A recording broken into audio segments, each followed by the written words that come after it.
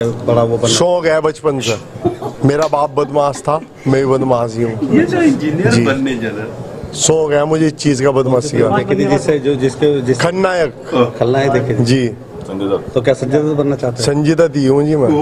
दस अक्टूबर रात के दस बजे। बल्लू तुम्हारी जेल से फरार। अच्छा जेल, जेल से जब तुम भागे तो क्या पहले से कह के भागे थे कि भाई मैं जो- मैं मैं जो है ना अपनी जेल के अंदर अपने क्या नाम है बैरिंग के अंदर तीन दिन पहले कह दिया था मैं ना कस्टडी से भाग जाऊँगा मैं। अच्छा। आज ही।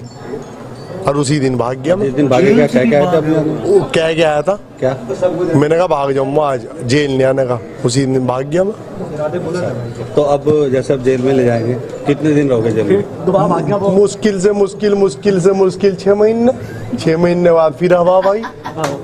अच्छा मतलब इन्हें मारना है लेकिन यहाँ से नहीं बाहर से।